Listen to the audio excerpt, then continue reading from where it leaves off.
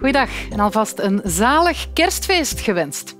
In de loop van de avond wordt het dan toch een beetje rustiger. De laatste buien verlaten ons land en trekken richting Duitsland. De rest van de nacht verloopt droog met minima tussen 2 en 7 graden.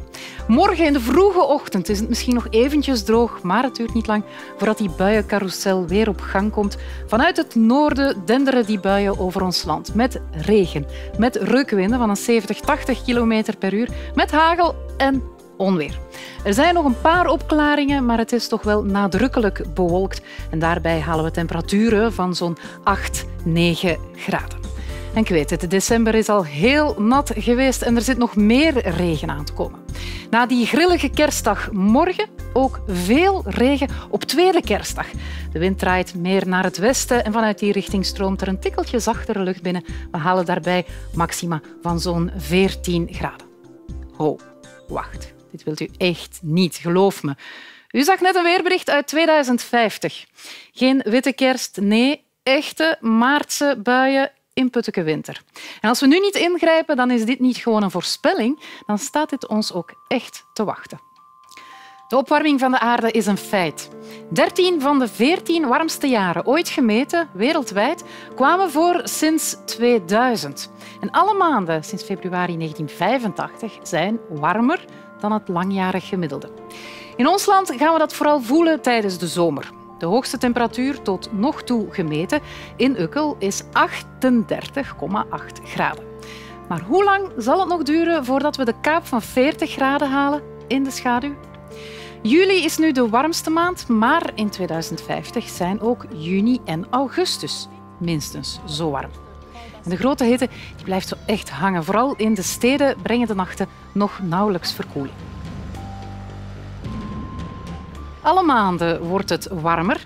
Kerst, nieuwjaar, gewoon de hele winter zal in 2050 te vergelijken zijn met de winter nu in Bordeaux.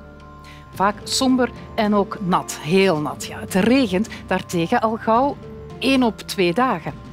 Valt er nog sneeuw in 2050? Zal het nog vriezen?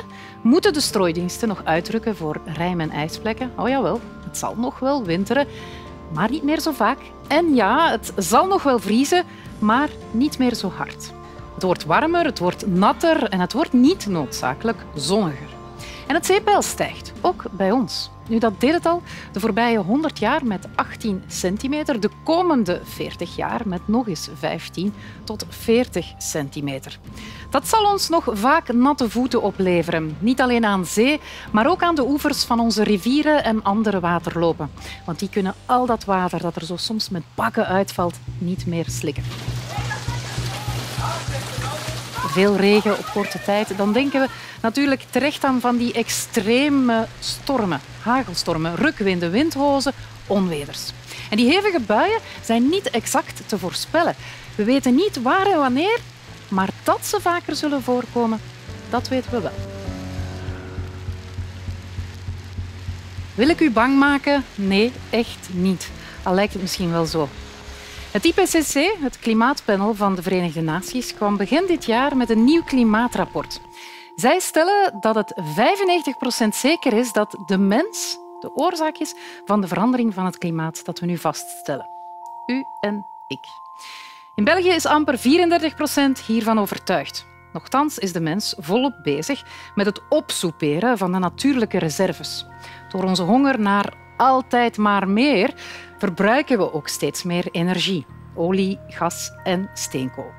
Het verbranden van die fossiele brandstoffen, onze vleesconsumptie, ons wagenpark, al die files en onze vliegtuigreizen en al die menselijke activiteiten vervuilen de lucht en pompen broeikasgassen in de atmosfeer. CO2 is de bekendste. Er was nog nooit zoveel CO2 in de lucht en de concentratie blijft maar stijgen. En er zijn ook niet meteen tekenen dat die hoeveelheid CO2 zal verminderen de komende jaren.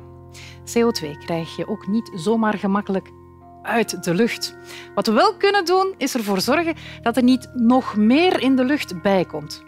Dat kunnen we doen door ons gedrag aan te passen. Het IPCC geeft in zijn klimaatrapport niet alleen de oorzaak, het geeft ook hoop. Het is nog niet te laat. We kunnen nog reageren. Als u bezorgd bent over de toekomst van uw gezondheid en die van onze kinderen, de watervoorziening, de voedselveiligheid, dan is het hoog tijd om nu te reageren. Waarvoor dank.